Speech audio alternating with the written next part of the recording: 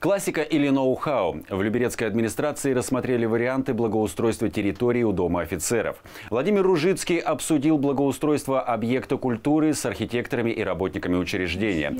Основная концепция проекта – обустройство площадки у главного входа. На суд главы округа представили три варианта. В классическом строгом стиле – более смелый вариант с нестандартным размещением объектов благоустройства и современный – площадь в виде круга с такими же необычным мощением плитки и полу полукруглыми лавочками.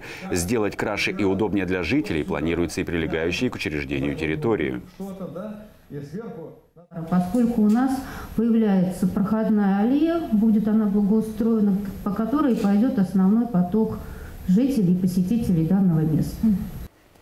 При разработке концепции позаботились и об автовладельцах. Парковочные места планируется разместить вдоль проезжей части в виде елочки.